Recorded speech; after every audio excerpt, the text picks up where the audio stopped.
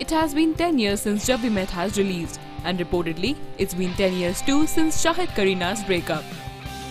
The movie was a hit because of Sasha and Bebo's reel life chemistry, however, the duo had no chemistry left in real life.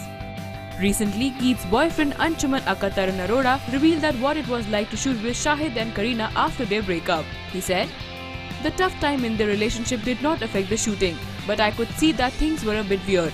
When you have a couple on set, you expect them to be a little lovey-dovey and happy. There was an air of discomfort. However, I thought they are serious actors and didn't let their personal equation affect their work. They didn't even joke with each other.